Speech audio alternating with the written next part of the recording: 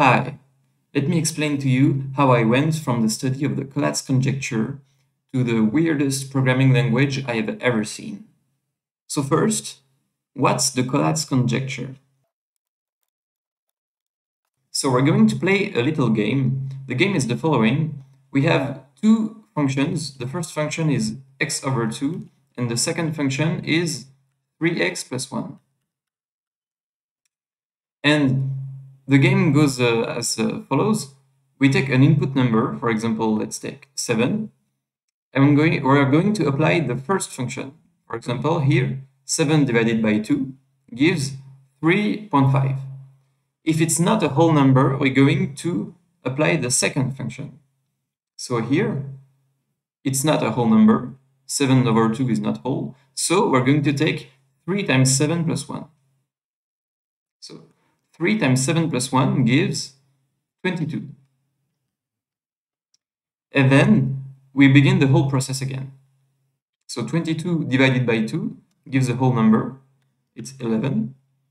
Now 11 divided by 2 is not whole, but uh, 11 times 3 is 33 plus 1 is 34. And we go on like that.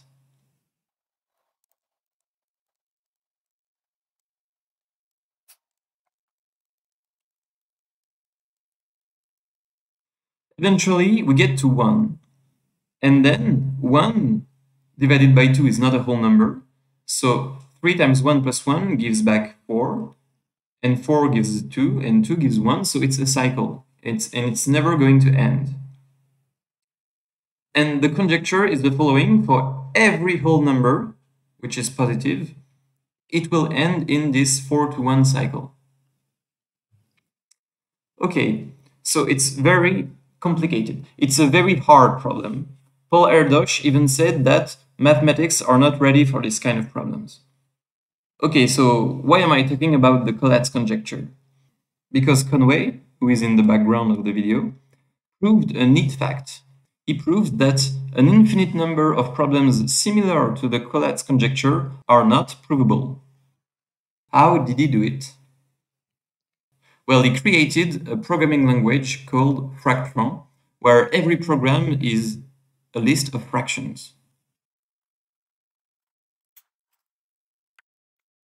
Okay, so what is the Fractran programming language? Well, a program will just be a list of fractions. For example, 2 thirds, 5 over 7 will be our program. And then, as an input, we're going to take a whole number, for example, 21. And then we're going to apply a similar process to the Collatz conjecture. So we're going to multiply 21 with 2 thirds. The result is 14. It's a whole number, so it's our new input. Now we're going to multiply 14 with 2 thirds. And it's not a whole number, so we're going to discard it and we're going to go to the next fraction. Now, this yields a whole number, 10, and it's our new input. Now, 10 does not give a whole number when multiplied by 2 thirds, and it does not give a whole number when multiplied by 5 over 7. So our program is finished, and the output of the overall program is 10. Okay, so it's difficult to see how this would compute anything. Well, now I'm going to show you how to sum two numbers. The program which computes the sum of two numbers is very simple. It's only two-thirds. Now, how does it work? Well, to understand how the Fractran programming language works, you have to consider every number as its prime number factorization. So let's say we have an input number, which is of the form 2 to the power of a times 3 to the power of b. Then I claim that this program will compute the sum as follows. The output will be 2 to the power a plus b. It's fairly easy to see. I will give an example to show you. For example, let's compute 3 plus 2. Okay, so I put the number 3 instead of A and the number 2 instead of B, and I'm going to apply the program. Well, if I multiply this number by, by 2 thirds, I'm going to decrease the power of 3 by 1 and increase the power of 2 by 1. So I get 2 to the power of 4 times 3 to the power of 1. And then when I do it again, I get 2 to the power of 5 times 3 to the power of 0.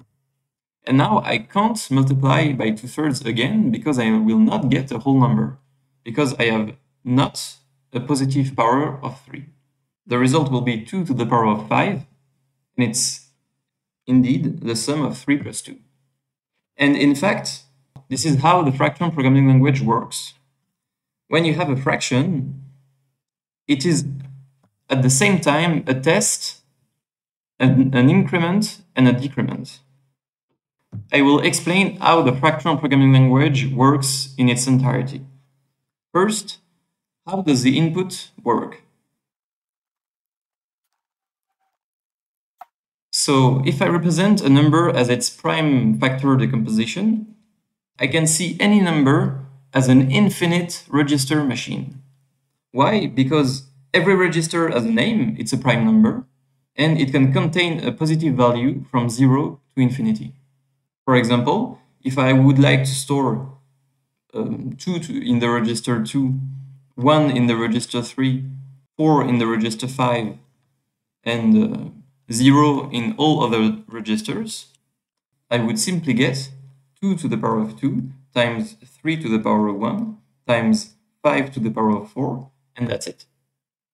This number is unique because of the fundamental theorem of arithmetics. Now that we understand how the input works, we're going to explain how the program works. So a program is just a list of fractions. And in fact, we have to see a program as a big while loop. It's a big while loop because every time we multiply successfully a fraction, then we go back to the beginning. And every fraction, we have to see it as the following. At the bottom, we have a test and a decrement. In fact, we test if in the register q, there is at least the number b. Because if there is not at least the number b in the register q, the result will not be a whole number. And at the same time, we're going to decrease the register q by b.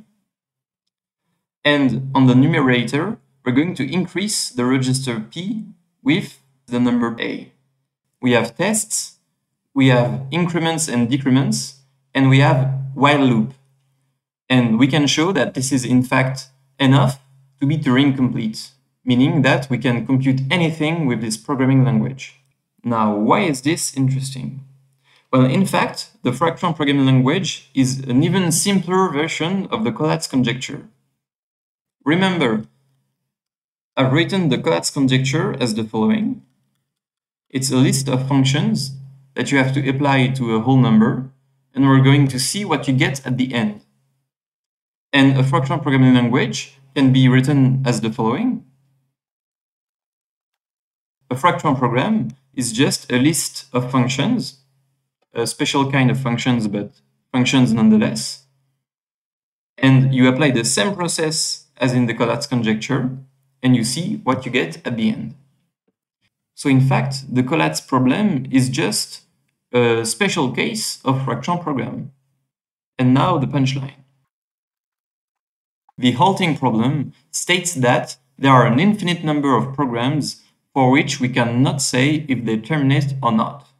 So in fact, for an infinite number of Fractran programs, we can't say if they terminate or not. So for an infinite number of problems really similar to the Collatz conjecture, we can't say if they're true or not. It's undecidable.